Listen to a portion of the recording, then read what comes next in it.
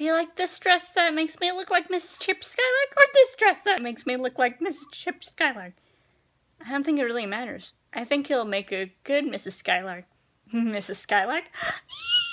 Ah, another day, another fan pulling me against my will.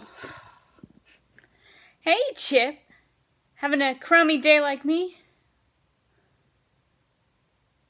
I'm only having a bad day when I disappoint my fans. I didn't disappoint you. No. Because of you. People forgot it's my birthday. Oh, I'm sorry, little man.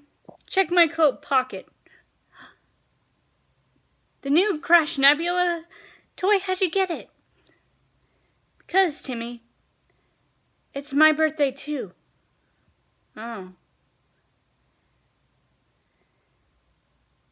I'm sorry. It's fine. It's not like you wished for this. Talented and dreamy. What? My dad said that. Oh. Sorry, I would have laughed harder, but these chains are choking my lungs.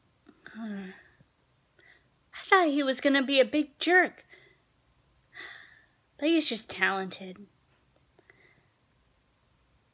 I wish we were back at the concert. Huh? What? Hey, how'd we get here so fast? With the power of music? Cool!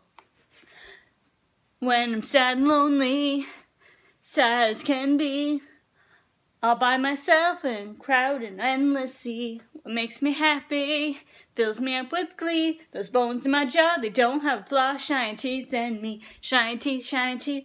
They are so perfect, so white and pearly. Brush gargle mints, couple breath mints, shiny teeth and me, shiny teeth, shiny teeth. Perfect, and they all love me. Oh, why should I talk to you when I got 32? Woo! Shiny teeth and me, shiny teeth, shiny teeth. It's okay, you guys forgot my birthday. We didn't forget about your birthday, Tommy. What? Yeah, your birthday's not until next week. Happy almost birthday! So yeah, guys, this was my Fairly Odd Parents episode, Chip Off the Old Block. Be sure to give a like, comment, subscribe.